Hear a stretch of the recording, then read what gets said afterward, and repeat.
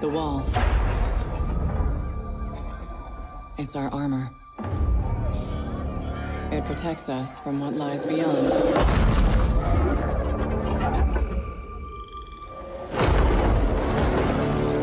But out there,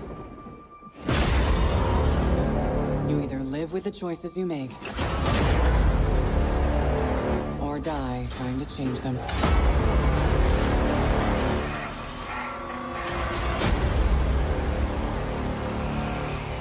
The story doesn't end here.